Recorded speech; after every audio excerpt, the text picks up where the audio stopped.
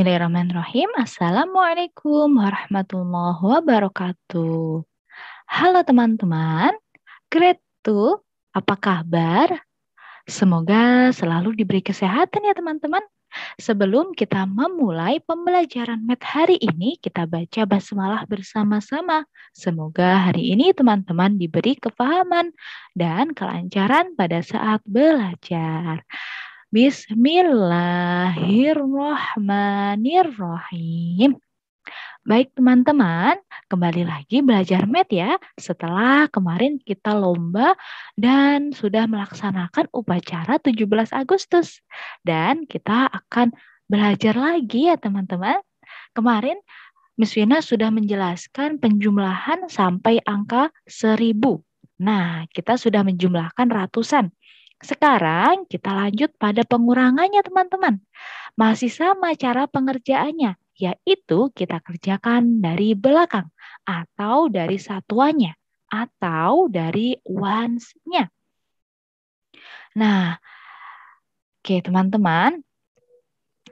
Kemarin untuk mengurangi, uh, menjumlahkan, teman-teman sudah pada ratusan, yaitu ada yang menyimpan dan juga ada yang tidak menyimpan.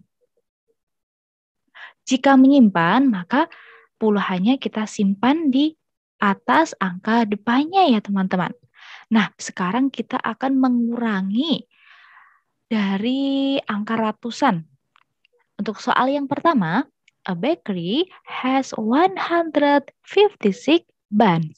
It sells 24 bun in the morning. How many buns are then left?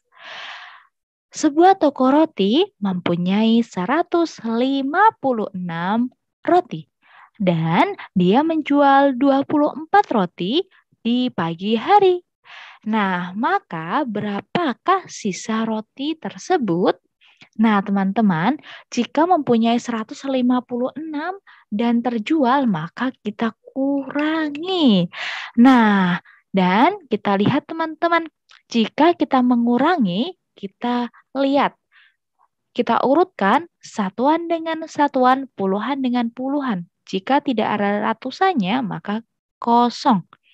Dan 156 dikurangin 24. Karena terjual, maka dikurangin teman-teman. Nah, 6 dikurangin 4 ada 2.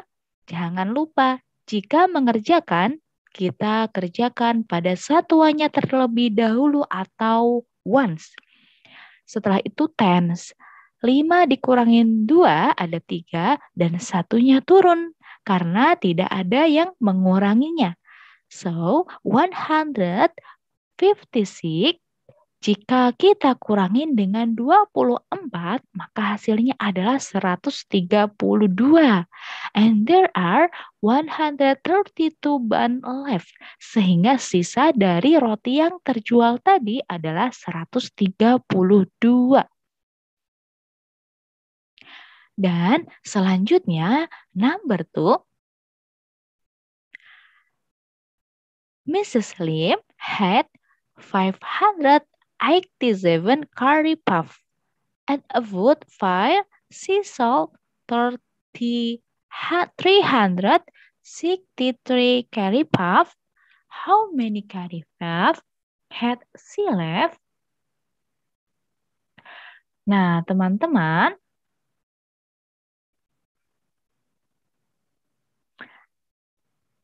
Mrs. Lim mempunyai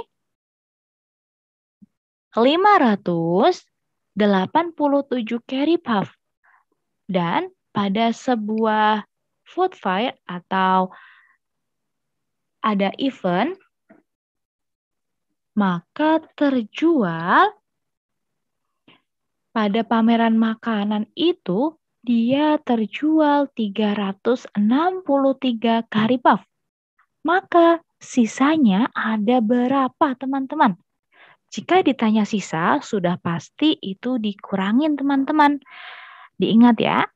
Dan berapa tadi? 587 dikurangin dengan 363.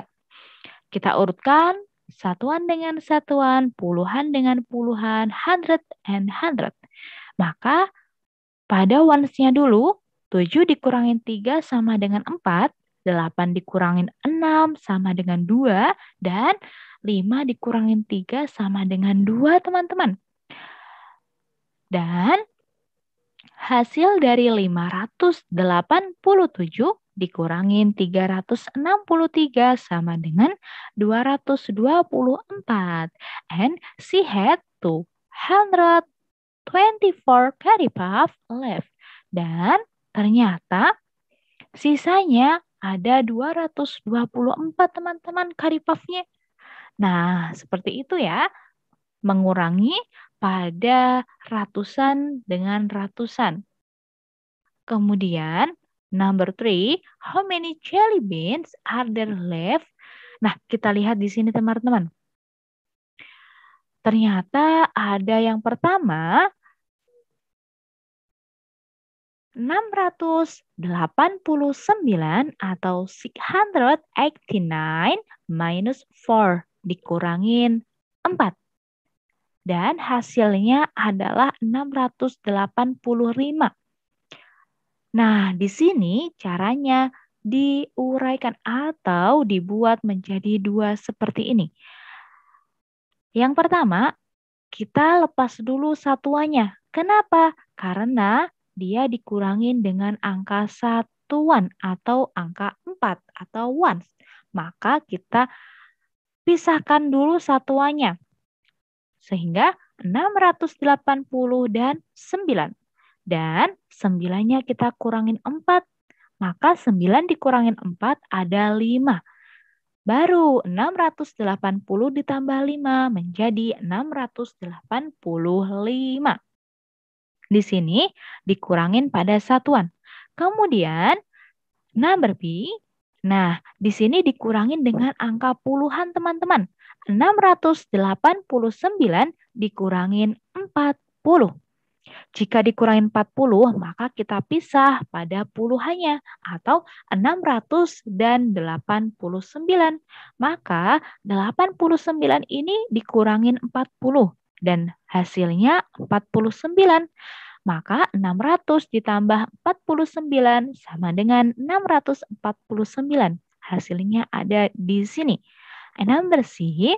Nah, C ini ratusan dikurangin dengan ratusan atau di sininya ratusan teman-teman. Maka kita pisah ratusan dengan 600 dan 89. Maka 600-nya dikurangin 400, sisa 200. 200 ditambah 89 sama dengan 289. And there are 289 jelly beans alive. Nah, jadi seperti itu teman-teman. Kita lihat dulu pada pengurangannya. Apakah itu ones atau tens atau hundreds? Nah, seperti ini. Bagaimana sampai di sini teman-teman sudah paham? Jika teman-teman ada yang belum paham, bisa bertanya kepada Miss Vina ya. Nah, kita lanjutkan lagi ya teman-teman. Nah, kita kerjakan bersama-sama yuk. Di sini ada soal 264 dikurangin 32. Berapa ya? Nah, kita tulis ya. 264 dikurangin 32. Maaf ya teman-teman ya, agak miring. Nah, 4 dikurangin 2, sisa 2. 6 dikurangin 3, sisa 3. Nah, teman-teman jangan lupa diurutkan ya. Satuan dengan satuan, puluhan dengan puluhan. Dan ratusannya tidak ada temennya. Maka diturunin ya teman-teman. Nah, sisa 2. Dan hasilnya adalah 230 2. Nah, angka A atau A ini hasilnya 232. Miss Vina hapus dulu ya. A tadi 2, 3, 2. Sekarang yang B. B 495 dikurangin 83. Nanti teman-teman kerjakan ya. Jangan lupa caranya diberi. Biar teman-teman nanti jika belajar tidak lupa caranya. 8 dikurangin 3 sisa 2, 9 dikurangin 8 ada 1, dan 4-nya turun teman-teman. Nah hasilnya 412. Oke, dan selanjutnya yang D yang D ini 979 dikurangin 635. Wah, angkanya sudah besar, teman-teman. Teman-teman harus belajar ya, agar nanti saat mengurangi atau menjumlah, teman-teman lebih cepat karena sering berlatih. Kita urutkan ya. Ones dengan ones, ten dengan tens, and hundred dengan hundred. Maka 9 dikurangi 5 ada 4. 7 dikurangin 3 ada 4. Dan 9 dikurangin 6 sisa 3. Maka hasilnya 344. Teman-teman jangan lupa dikerjakan atau ditulis caranya. 658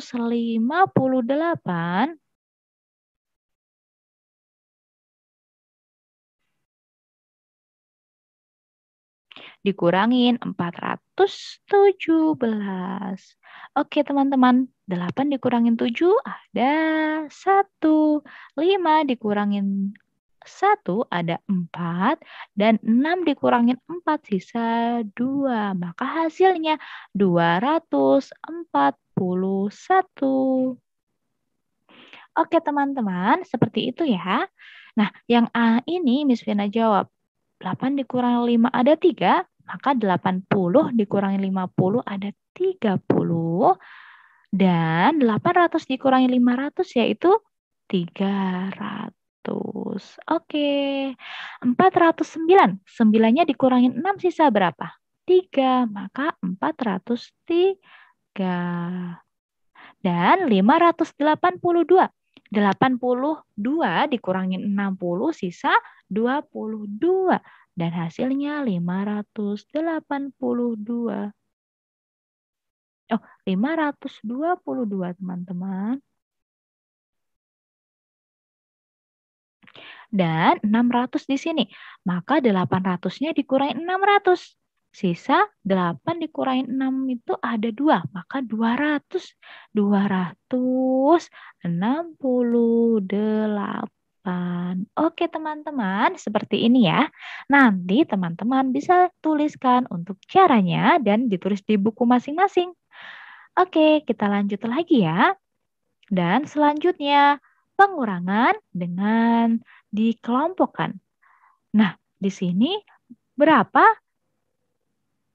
252 dikurangin 38. Nah, teman-teman. Nah, di sini kita meminjam teman-teman. 2 dikurangin 8 itu tidak bisa, Miss.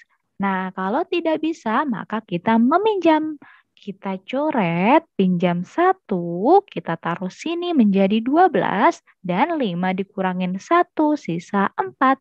Maka 12 dikurangin 8 ada 4, dan tadi sisa 4 dikurangin 3 sama dengan 1.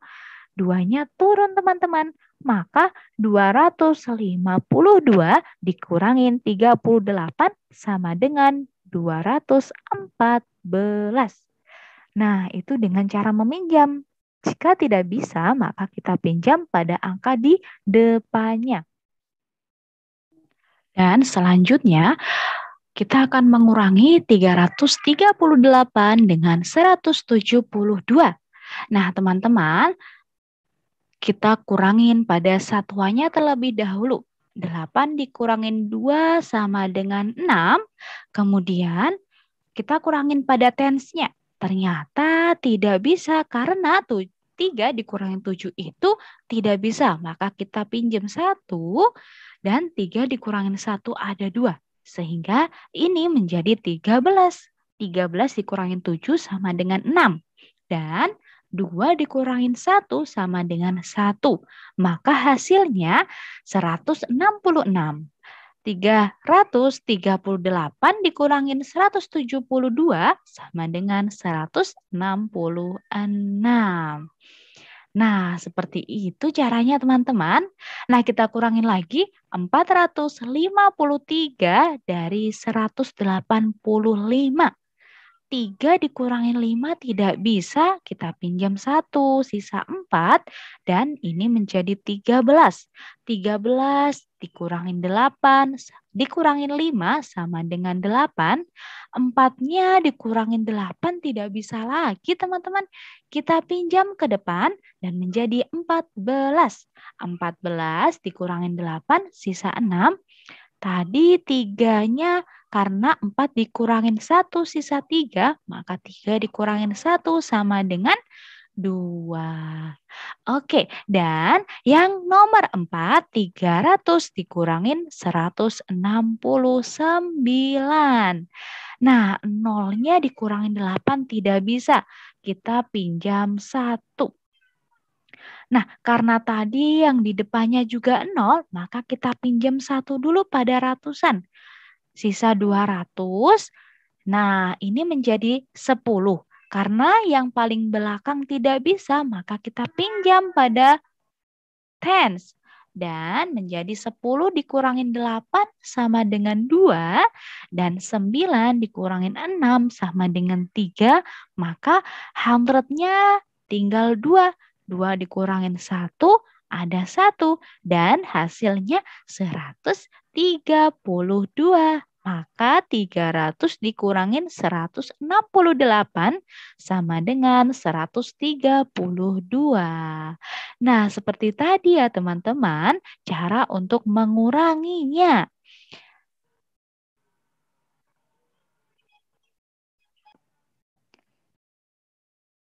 Dan kemudian kita kurangin 532 dikurangin 8. Nah, 8 itu ada 2 dan 6 teman-teman. Maka kita lihat di sini. 532, maka 2-nya dikurangin 2 dulu. Atau 532 dikurangin 2, ada 530. Kemudian baru dikurangin 6. 530 dikurangi 6 sama dengan 524. Nah, seperti itu teman-teman. Dan yang B, 532 dikurangi 80. Kita pecah menjadi 432 dan 100. 100-nya kita kurangin 80, sisa 20. Maka 432 ditambah 20 sama dengan 452. Seperti itu teman-teman.